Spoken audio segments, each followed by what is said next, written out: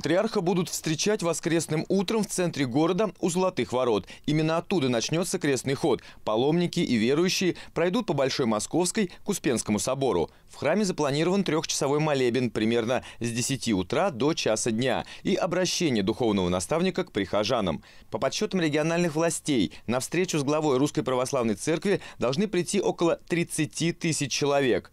Верующие приедут не только из районов, будет много паломников и из других регионов. Понятно, что все желающие в Успенский собор не попадут. В Успенском соборе более тысячи не поместится, поэтому ставим экраны.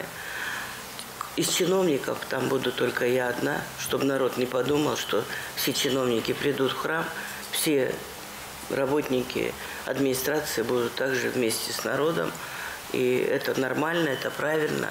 Там должно, должны быть больше прихожан, людей, кто приедет из городов и районов, области паломники. На Соборной площади разместят пять экранов, поставят большие телевизоры и в других районах города. В интернете будет прямая трансляция визита патриарха. После молебна священнослужители во главе с Кириллом заложат камень храма часовни благоверных великих князей Владимирских. Ее построят вместо кафе «Блинчики». Тем самым губернатор Орлова дала понять, что блинчиков на прежнем месте не будет. Они переедут. Однако куда и когда – не уточнила.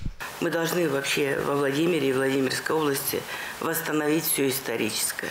Это город, ценнее которого на территории Российской Федерации нет.